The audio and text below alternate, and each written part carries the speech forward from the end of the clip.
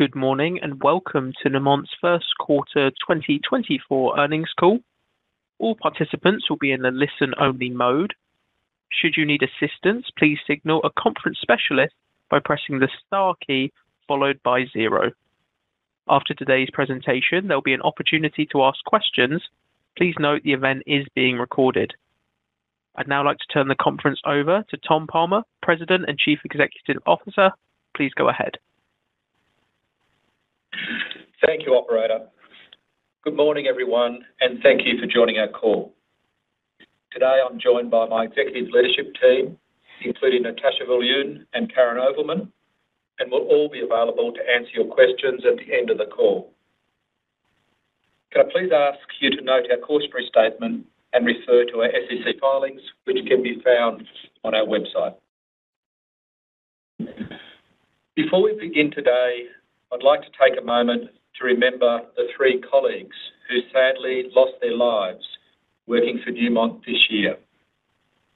Mike Kabina Morrison, or Cobby as he was known to his friends and colleagues, was a dedicated and hardworking member of our Ahafo North project team and a natural leader. Cobby was a son, a husband, a father, a dear friend to many, and he will be greatly missed. Rosanna Lestemar was a daughter, a wife, and a mother to a young daughter.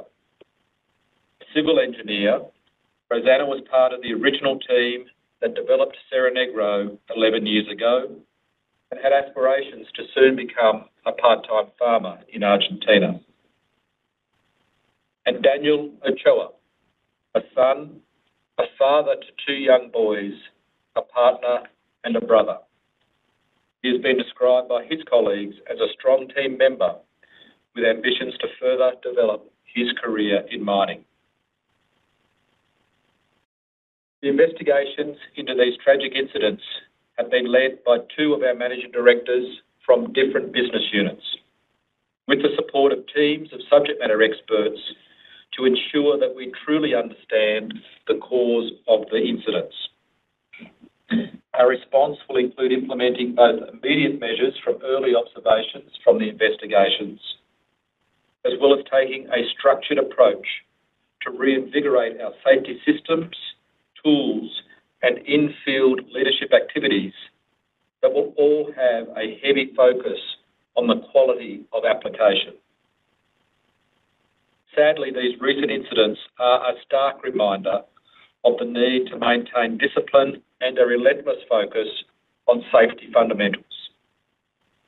The loss of Adam Kennedy, Coby, Rosanna, and Daniel over the past six months has had a profound impact on the entire Newmont family, and it is with great humility and resolve that we will continue to challenge ourselves to ensure that everyone working in our business goes home safely to their loved ones.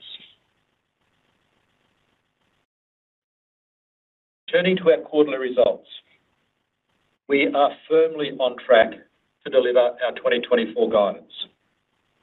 We are pleased with our operational performance in the first quarter and remain focused on delivering consistent results as guided over the remainder of this year and beyond. I also want to reiterate the four key commitments that we have made to our shareholders. We continue to make progress on these commitments, and I'd like to provide a brief update on our first quarter achievements, starting with strengthening Newmont's position as the gold industry's recognized sustainability leader. Last week, Newmont published our 20th annual sustainability report, along with our third annual Taxes and Royalties Contribution Report, both providing a detailed and transparent look at our values-driven approach to sustainability and the economic contributions we made in the jurisdictions and communities that we operate in. With this sustainable foundation in place, we have created the industry's strongest portfolio of world-class gold and copper assets in the most favorable mining jurisdictions and from this portfolio, we produced 1.7 million ounces of gold at an all-in sustaining cost of $1,439 an ounce in the first quarter. We continue to expect these unit costs to improve throughout the year, driven by both higher production in the second half and the delivery of synergies. I'd also note that in the first quarter, our go-forward Tier 1 portfolio produced 1.4 million ounces of gold at $1,378 an ounce. Our Tier 1 portfolio also produced over 480,000 gold equivalent ounces from copper, silver, lead, and zinc. and Included in this number is the 35,000 tons of copper that we produced and sold. We generated $776 million of cash flow from operating activities in Q1, including a $666 million reduction from working capital, which Karyn will cover in a few minutes. When we exclude the $291 million one-time stamp duty payment we made in February in connection with our acquisition of Newcrest, free cash flow for the quarter would have been 217 million dollars. Our second quarter production and costs are expected to remain relatively consistent with the first quarter, and we continue to expect that our gold production will be weighted to around 53% in the second half of the year, remaining firmly on track to achieve our full-year guidance on both a production and cost basis. In the first quarter, we also continued to progress the divestment of our six high-quality non-core assets this year. This morning, we announced the sale of our Lundin Gold financing facilities, generating $330 million in cash proceeds and furthering our commitment to maximizing shareholder value by monetizing our non-core assets. We continue to maintain our exposure to Fruta del Norte through our equity interest in Lundin Gold. Underpinned by the industry's strongest portfolio of gold and copper assets, we remain committed to maintaining a disciplined and balanced approach to capital allocation. As part of this, we declared a first quarter dividend of $0.25 per share, demonstrating our ongoing commitment to returning capital to shareholders. We refinanced approximately $2 billion in debt related to the Newcrest acquisition, and we continue to advance our four key projects we have in execution. Our second expansion at Tanami, our new mine, Ahafo North, and our two new block caves at Cadia. And Finally, turning to synergies. We remain firmly on track to deliver on our commitments. In the first quarter, we achieved 56 million dollars in synergies, bringing the total delivered to 105 million dollars since we closed our acquisition of Newcrest in November last year, and building solid momentum towards our commitment of delivering a 500 million dollar synergy run rate by the 1st of January 2026. We have identified a series of initiatives, each with action plans and dedicated resources in place that have us on track to achieve a 335 million dollar run rate by the end of this year, representing two-thirds of our 500 million dollar synergy commitment and well ahead of the run rate we estimated when we announced this commitment in May of last year. Beginning with the core of this value delivery, we are seeing great opportunities emerging from our Full Potential work, and we are just getting started.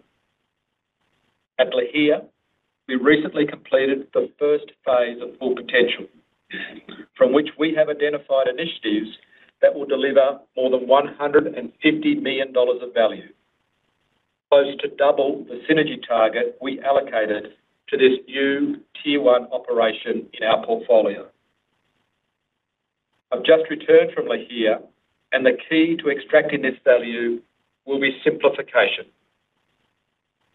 Following a very similar approach to the one we used at Peñasquito five years ago, we have key members of our Newmont technical team on the ground in PNG supporting the site team to work on simplifying operations by focusing on the areas that will genuinely move the needle and stopping the non-value activities that have historically plagued this operation.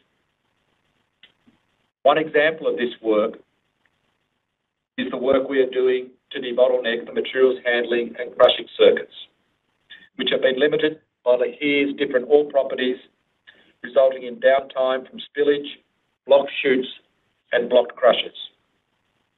From this initiative alone, we expect to improve mill throughput and generate over $50 million in annual cash flow improvements. With future waves of opportunities already identified at Lihir, we remain very excited about the untapped potential at this tier one operation. We are also well into the first phase of our Full Potential work at Cadia, Red Chris, and Brucejack and have already identified several high-value opportunities that we will progress in parallel with the initiatives now underway at Lihir. For our supply chain synergies, we have already realized close to $30 million from negotiating more favorable terms and pricing for materials and equipment, as well as first consolidating and then renegotiating service contracts. As we look ahead, we will continue to work closely with our key suppliers, leveraging our unmatched scale and global partnerships to seek improvements through negotiations and tenders over the course of the year. Turning to G&A. We have already achieved over 80% of the synergies that we committed to, and we expect to exceed our $100 million G&A commitment by the end of this year. Most of our G&A synergies are coming from employee and contractor rationalization, as we expected, and to a lesser extent, from reductions in insurance premiums and other administrative fees. We look forward to realizing the significant production and cost benefits from our synergy work, and we will continue to provide you with updates on our progress each quarter. And With that, I'll now pass it to Natascha and then Karyn for an update on our operational and financial performance for the quarter. Over to you, Natascha. Thank you, Tom, and good morning, everyone. After the loss of our colleagues at Ahafo North and Cerro Negro, Tom and I spent time at these two sites and with the project, operational, and investigations teams to get a first-hand understanding of the incidents to inform our global response to address our safety performance. In addition to Ahafo North and Cerro Negro, I had the privilege of visiting five of our six managed Tier 1 operations and spent time with our colleagues at Boddington, Peñasquito, Akyem, Ahafo, and Lihir, as well as Yanacocha and Merian. Our operations delivered a strong first quarter performance in line with our business plan and outlook for the year. With Full Potential underway at many of our sites, we remain confident in our ability to deliver safe and efficient production, keeping us on track to deliver on the commitments Tom just described. I will cover the first quarter performance and outlook for our Tier One operations, starting with Tanami. Tanami achieved planned production for the quarter despite the heavy wet season in the Northern Territory that resulted in a six-week closure of the Tanami Track. In the first quarter, Tanami delivered higher tons mined from deeper underground and successfully completed its planned mill shutdown, positioning the site to deliver at least a 20% increase in gold production in the second quarter compared to the first. At Boddington, the stripping of the current laybacks in both the north and south pits continued to ramp up in the first quarter, an investment that will bring forward stronger gold and copper grades starting in 2026. Total material moved increased over the fourth quarter due to improved tons mined and higher shovel productivity through the introduction of double-sided loading for our autonomous truck fleet representing a major milestone for this ore fleet as the performance of this technology continues to go from strength to strength. Peñasquito delivered strong silver and lead production from the Chile Colorado pit in the first quarter as waste stripping continues to progress in the Peñasco pit, as previously indicated. As a result, and as planned, we continue to expect gold production to be around 60% weighted towards the second half of the year at this world-class polymetallic mine. As we return to mining ore from the Penasco pit toward the end of the year, we will have access to these higher gold grades in the fourth quarter and into next year. At Ahafo, we continue to optimize the processing circuits in the first quarter achieving a 37% increase in mill throughput compared to the prior quarter. The newly fabricated girth gear for one of the two SAG mills has arrived on site, and we remain on track to replace this gear in May of this year. Once the new girth gear is commissioned, we anticipate a 10- to 20-day ramp-up period to reach full processing rates resulting in even stronger production levels at Ahafo into the second half of the year. Cadia continued to deliver strong gold and copper grades from the current block cave in the first quarter.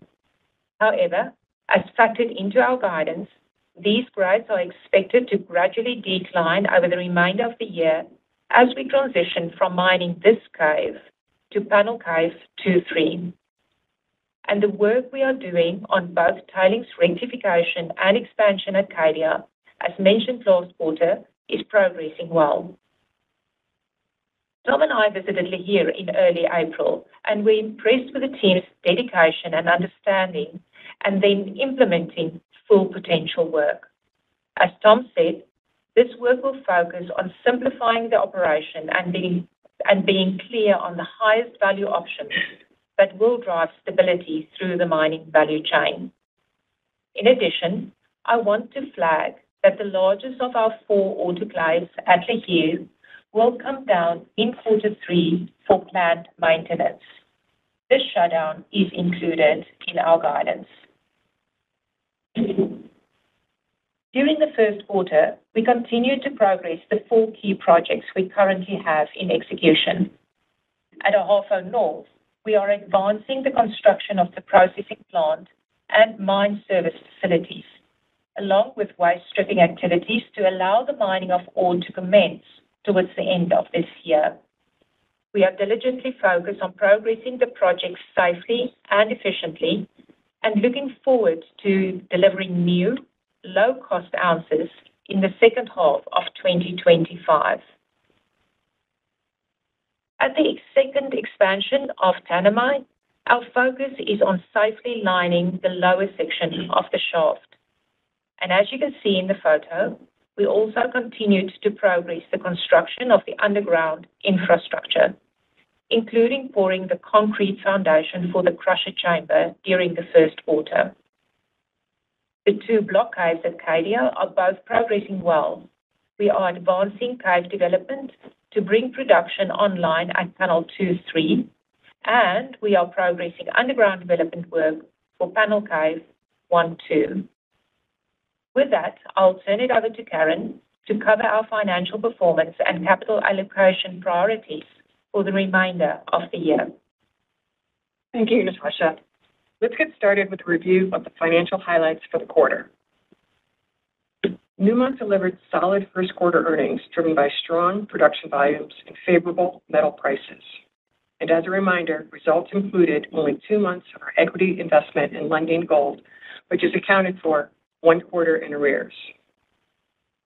In the first quarter, Newmont delivered $4 billion in revenue at an average realized gold price of $2,090 per ounce and copper price of $3.72 per pound adjusted EBITDA of $1.7 billion, and adjusted net income of $0.55 per diluted share. The most notable adjustment to net income for the quarter was a $0.43 add-back related to non-cash impairments of non-core assets that were classified as held for sale as of March 31st. Under U.S. GAAP, assets that are classified as held for sale require a specific evaluation and need to be recorded at the lower of the carrying value or fair value, less cost to sell. As a result of this evaluation, Newmont realized a non-cash loss on assets held for sale, including the associated tax impact of $485 million, primarily related to the Coffee Project, as opposed to assets that are currently operational. As I indicated on our previous call, we anticipated minimal free cash flow in the first quarter, primarily due to the timing of production and payments. We generated over $1.4 billion of cash flow from operations in the first quarter before a working capital reduction of $666 million. These changes in working capital included a one-time payment of $291 million related to stamp duty tax stemming from the acquisition of Newcrest, which was accrued for last year. A build in stockpiles, primarily at our newly acquired sites of $193 million.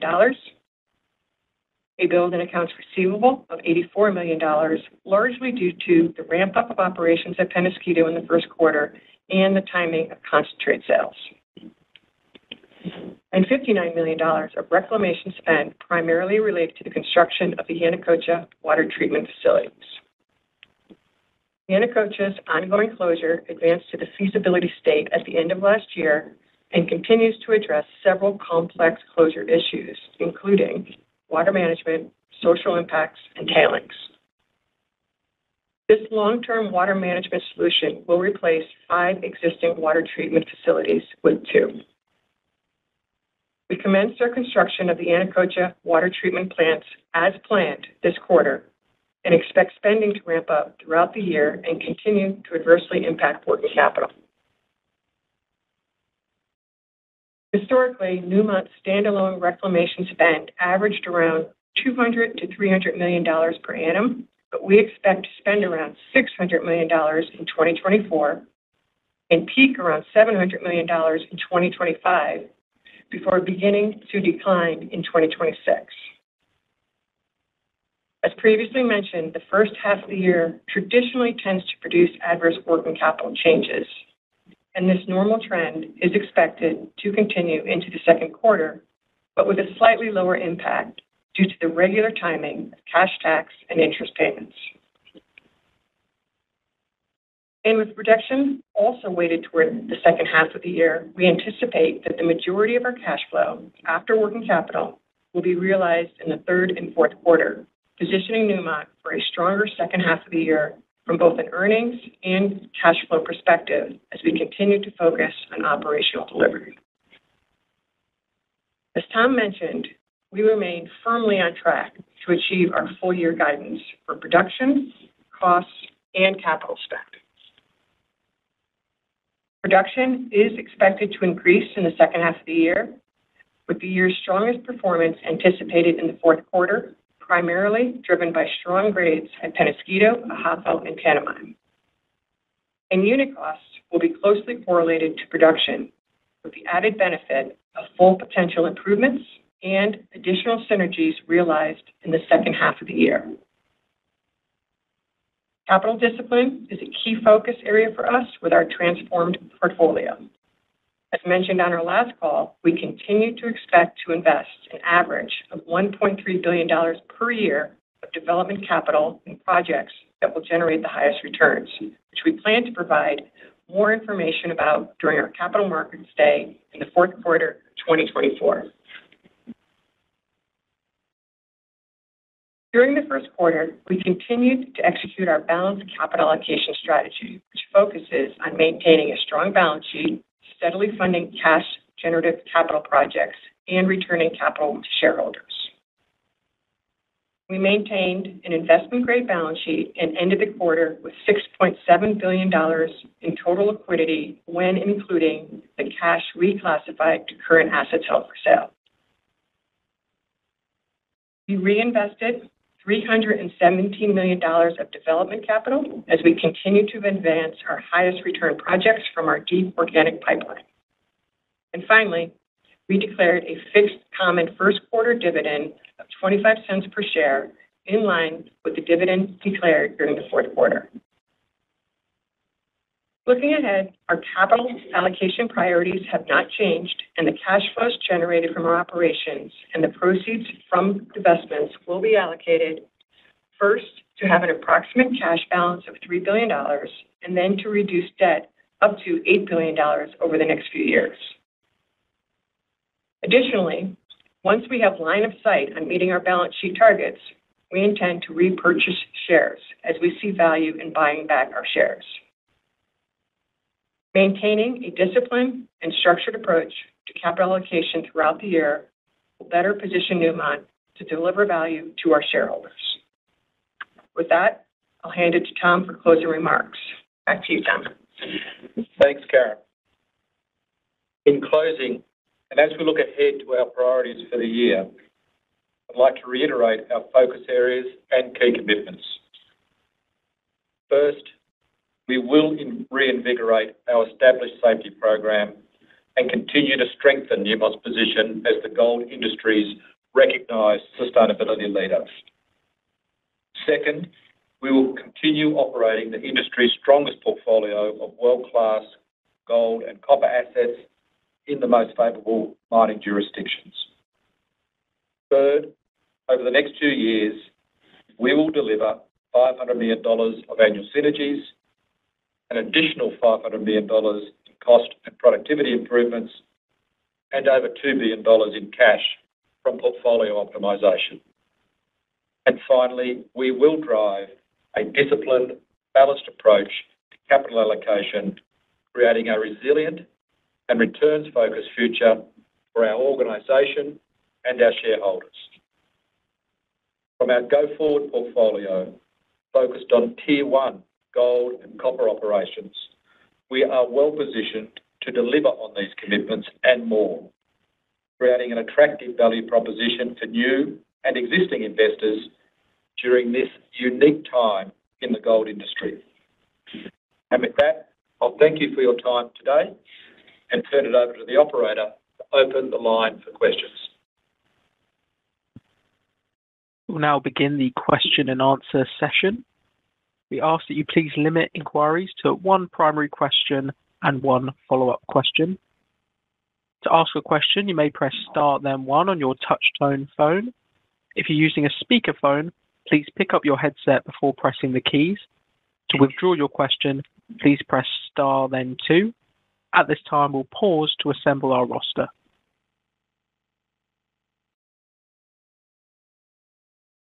Our first question comes from Lawson Winder of Bank of America. Thank you, operator. Uh, good morning, Tom and team. Very nice quarterly results, and thanks for the update today. Uh, can I start off by asking about asset sales? Uh, first of all, congratulations on realizing value from the sale of the Lundin stream and offtake. Um, but With respect to that, first of all, when you receive that, when will you receive that cash, first of all? And then second of all, will it be applied entirely to debt repayment? And then, uh, just looking at the asset sales more broadly, uh, we've seen public indications of interest, um, fairly substantial interest in Akyem and Telfer. How would you describe the interest in the other assets, and what is your timeline uh, currently on thinking to to be able to announce some some transactions on these assets? Thank you. Good morning, Lawson, and thank you. I'll pick up the second part of your question and get Karyn to pick up the first in terms of the use of the proceeds from the Lundin uh, transaction. Uh, so six uh, high-quality non-core assets that are now held for divestment. So we've moved into that accounting classification, as Karyn talked to. We have started a formal process on every one of those um, assets. So we're in phase one in each of those um, in each and every one of those assets. so We're in the price discovery phase. Uh, and There is a high level of interest um, across across all of um, all of those processes.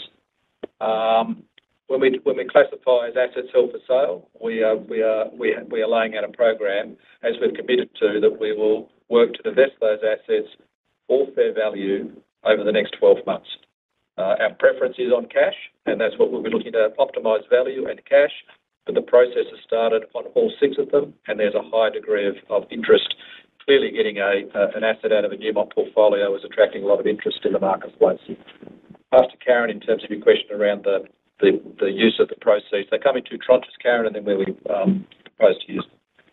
Yes, in terms of the use of proceeds, uh, so the first payment, second quarter, third, the second payment in the third quarter. Our capital allocation um, priorities are consistent, as I discussed in my prepared remarks. Um, and as we've indicated through 2024, the beginning part of the year, we will be drawing on cash um, as we go through the year. And so the first proceeds would be used to kind of replenish those cash balances as we go forward. Great. Thank you very much. Thanks, Lawson. Our next question comes from Tanya Jakusconek of Scotiabank. Oh, great. Uh, good uh, morning. Thank you uh, for taking my question. Um, Natascha, I wanted to ask you just on the year on the GEO side. You gave us the 47, 53 on the gold front. Can you give us some guidance on the other metals, um, maybe just on the GEOs, how they progress at the year, and particularly at Peñasquito, please? Tanya, thank you for that question. I think starting off just um, broadly, um, we will see higher contribution from Peñasquito on GEOs this year because we are mining predominantly in the Chile Colorado pit that we know is higher in um, GEOs. Um, if we look at our GEO production um, across the last four quarters, we will see that the GEO production for silver would be around 9 million ounces a quarter in the order of about 28 million ounces for lead, um, sorry, 28,000 tons and 58,000 tons of um, zinc uh, across the four quarters. Just chipping in there, Tanya, that um, getting to that sort of coming out of Chile Colorado to the fourth quarter and head back into Peñasquito pretty flat on um, silver and lead, but probably Natascha, it's a little bit more zinc maybe in uh, uh, the fourth quarter. Okay. No, that's helpful. Thank you. Copper's pretty steady through the year. Copper's pretty steady, Tanya. Sorry. Okay. and Could I ask just still on the operational side, Natascha, you mentioned um, Lihir maintenance in Q3. Are there any other big maintenance that we should be aware of in your portfolio, particularly Nevada Gold Mines, um, Pueblo Viejo, Cadia? Um, the only other area would be Ahafo South, where we will be replacing the girth gear, as I mentioned in the prepared comments. Um, and That will happen now in the second quarter. and Then after that, we should see a ramp up back to normal production levels for Ahafo. Um, you might remember, Tanya, we did say that we've reduced production out of Ahafo um, to make sure that we keep the two uh, mill streams running, but that will then return to normal production rates after that shut. Okay. That's very helpful. And Just finally on operations, and I'll leave it for someone else to ask.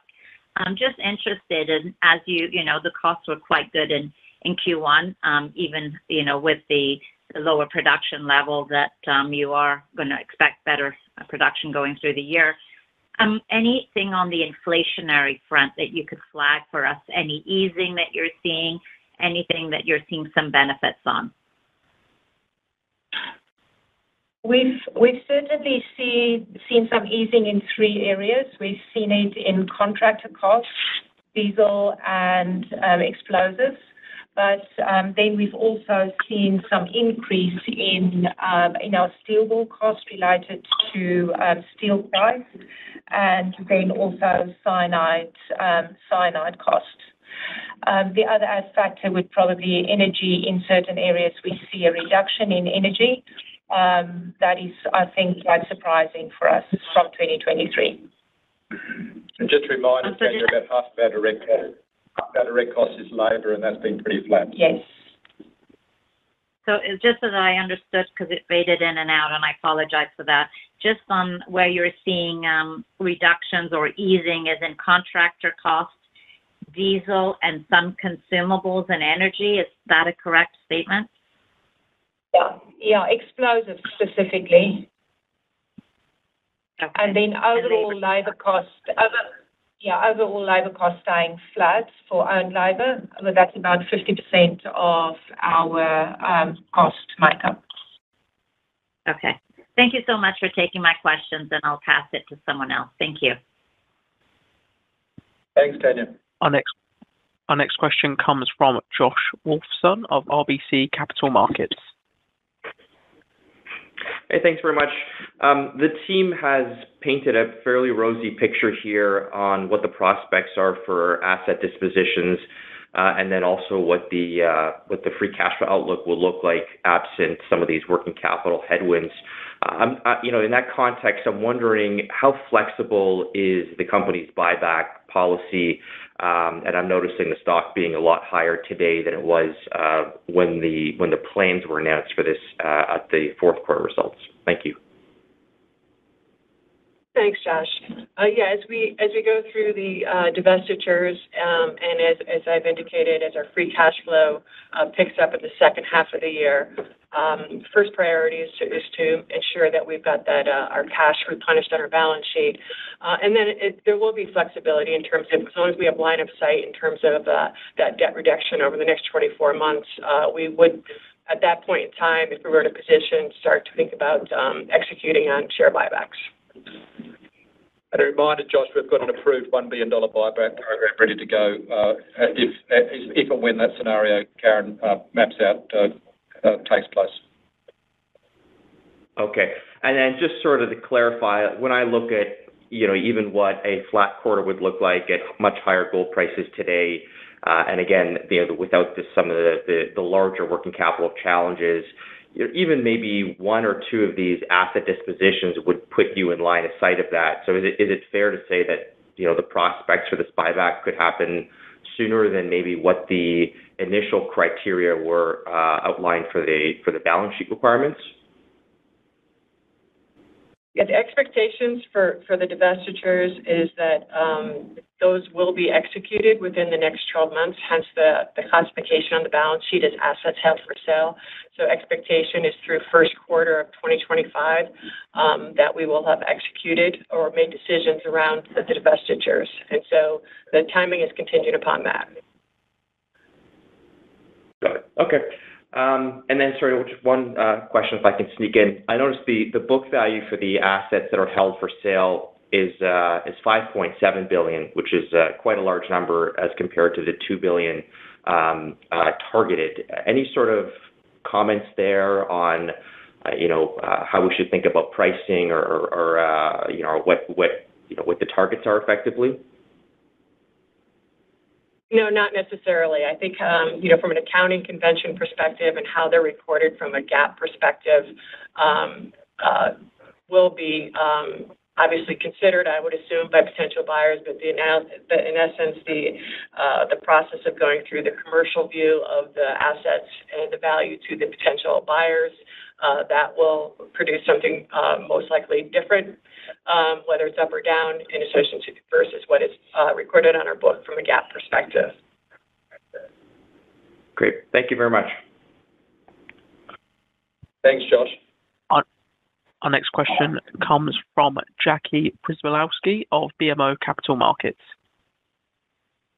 Uh, yeah, thanks very much for taking my questions. Um, Maybe I'll ask uh, the first question on the Full Potential program. So I had the privilege of visiting Peñasquito in March, and uh, definitely the team did a great job of um, outlining how the Full Potential program has benefited there.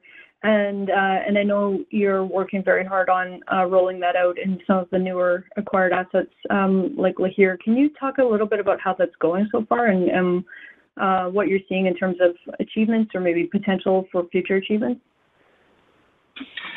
Yeah, thanks, Jackie. Good morning. I'll kick off, and Natascha, you might want to build on that. Well, Dean Gehring in the room as well, he might want to chip in as well. We're most advanced at Lihir, and Lihir was the site we saw as the most opportunity, which is why we jumped into there literally on day one. Three main productivity and cost opportunities at Lihir. The one I mentioned in the prepared remarks is really around consistent ore feed um, so that you can manage and address materials handling. So Ensuring you've got the right balance of different ores so that you've got um, managing conveyor belts uh, and block chutes and block crushers, just allowing a big plant to get a good consistent feed uh, coming into it is a key value driver.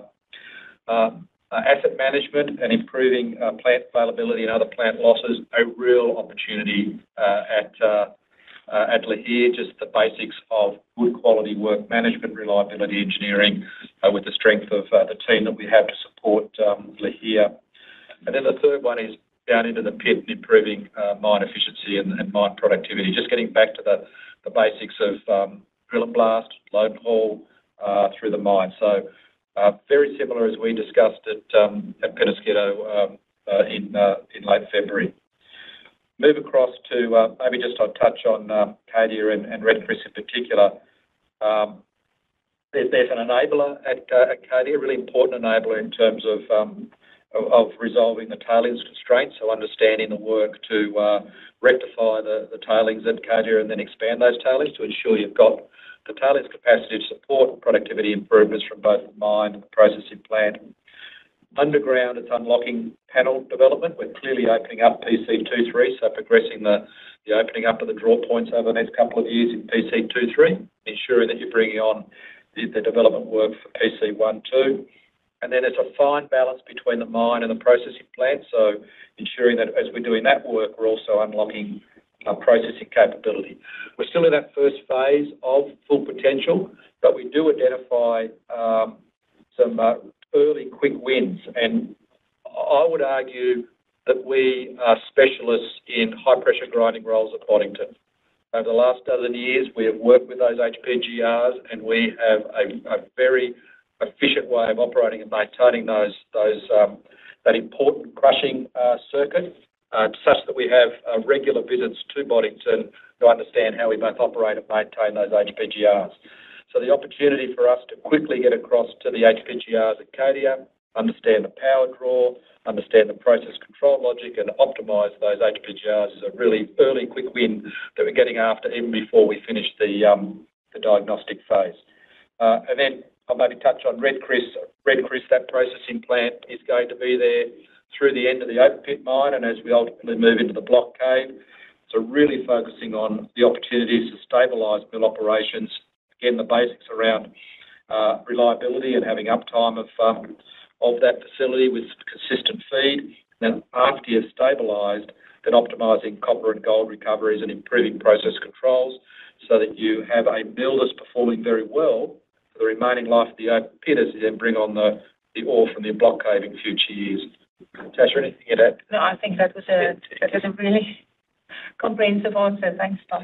Hopefully, Jackie, that gives you some sense of the excitement we have sitting behind Full Potential and the confidence we have in that run rate through to the end of this year, the run rate to the end of next year, and why we've gone after the upside on top of that 500 million. Yeah, no, that was a super helpful answer. Thanks, Tom. Um, and maybe if I can ask as a second question, uh, just going back to your divestment strategy, um, uh, I know you have a number of assets that you're looking to sell in Canada specifically, um, but also, you know, I guess globally as well. Uh, um, can you comment at all? Like, do you have a preference of selling the assets in sort of groups or bundles, uh, or are they all expected to be sold individually to different buyers? I mean, I don't know if you can make any comments on sort of how you're thinking about that. Thanks, Jackie. As I mentioned in an earlier question, the process has started on all six assets. So We have engaged banks and have started a process on all six assets, uh, and we're in the process of price discovery through phase one, So, and active interest. So um, We are getting a good feel for the level of interest in these assets and the competitive environment that um, we're hoping to enjoy. Um, uh, we're running three separate processes in terms of because they're in different locations. There's uh, I set my process for Telfer in the Australian context with a dedicated team looking after that. There's a process for Akyem in the African or Ghanaian context with a separate team looking after that. And There's a process for our North American assets, the four operations, plus the Coffee Project, uh, and a team getting after that, all um, being uh, led by um, by Peter Toth and Scott Langley. Um, but up and running and very active. As I say, we're in phase one, um, but uh, uh, uh, quite excited about the level of interest and the competitive environment which um, we're presenting these assets to prospective buyers. I appreciate the color. Thanks very much. Thanks, Jackie. Our next question comes from Mike Parkin of National Bank. Hi, guys. Thanks for taking my question. Just looking for a bit of additional color uh, with Yanacocha and the water treatment plants. This might be a bit old, but um, just looking for what's the main driver there of doing the two new plants versus the five existing one? Is it capacity or just the the old ones don't have the technology you kind of need to have implemented there. Good good morning, Mike. It's um, it is both capacity and technology. Um, so just to paint a picture uh, for you, um, we've been operating and mining the oxide ore at Yanacocha for the better part of the last 30 years, and disturbed at the top of the Andes a, an area that is the equivalent of three-quarters of Manhattan. So, To give you a sense of the scale of the disturbed land at the top of the Andes, a significant rainfall every year and a watershed right into both the um, Atlantic and the Pacific Oceans. So, There is a very significant amount of disturbed land, very significant amount of water at the top of the Andes. Um, and That water is uh, acidic, so every drop of water that touched that disturbed land we need to uh, capture, process, treat, and then discharge uh, to different qualities. In some instances, the discharge uh, needs to be to drinking water quality, in some instances to agricultural standards as defined by the permits we have from the regulatory authorities in um, Peru. So, As has been um, accrued for within our um, closure liability, we have been moving into the a stage of closure for Yanacocha uh, that involves the construction of two large water treatment plants over the next few years that then will treat water uh, in perpetuity forever. These plants are designed to be there processing water and discharging water forever. So We're in the building of the plant phase now for a set of facilities that will operate uh, for literally decades out in front of us. Just to put into perspective the size of these water treatment plants, we are uh, designing and building these plants to treat 8,000 meters cubed per hour. That is a plant equivalent to uh, treating the water required by a city the size of Seattle. So That's the size of the water treatment plants we're building up in Yanacocha. The cost of those, I get that's all kind of flowing through this year and next year. Is that in your capital budget, or is that running through the income statement? Like, you normally have, like, You don't see. Sorry, Mike. I'll check Paramount want to build on this. You don't development capital or a sustaining capital? Yeah, that's correct. Uh, it's accrued on our balance sheet as a liability, and you'll see that the uh, $600 that we expect to spend in 2024 is uh, considered a current liability, um, but that you will not see that, as Tom indicated, flowing through sustaining or development capital. Okay. So, Is it more uh, working capital changes as the- Current liability Yes. Consistent with first quarter, you'll see that flow through working capital. Okay. Thanks very much. That's it for me. All right. Thanks, Bob. Our next question comes from Anita Soni of CIBC.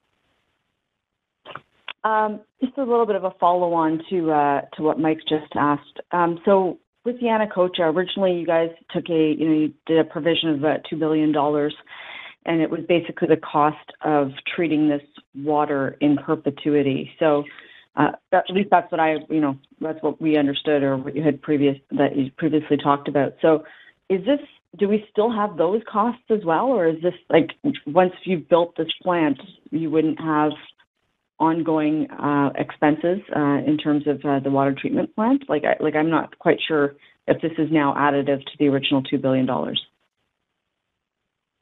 Anita, in terms of the provisions that we've had in our um, closure liabilities, that's all been there. There's no new information there. That's fully um, accounted for in terms of our closure liabilities for Yanacocha. As part of that, there's always been the spend to build the water treatment plants, which takes place over 2024, 2025, 2026.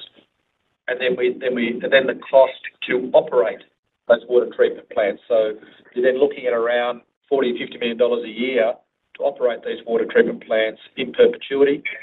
The costs to both operate those plants and to construct those plants are included in our closure liability. So, What's that total closure liability now then? Well, Yanacocha is sitting at, um, just looking at my number, it is uh, sitting at about $4.8 billion um, in the. Uh, sorry, the liability pass across to Karyn to cover the liability rather than me try and battle with balance sheets. Yeah. As Tom is referring to, the total reclamation and remediation liabilities is around six point six, um, But for Yanacocha, it is the 1.7 uh, that has been accrued for on our balance sheet. Sorry, $1.7 billion. Yes, for the water treatment. For the water treatment plant, um, Anita. So Yanacocha has a bunch of other closure uh, activities. You've got to reshape uh, uh, leach pads and waste dumps and tailings facilities. So water treatment plant is a component of that. The total closure liability for Yanacocha is $4.8 billion. Okay. Got it. And then you mentioned it's taking place over 2024, 2025, and then 2026. Can you tell us what the number that we would see in working capital outflow in 2026 would be?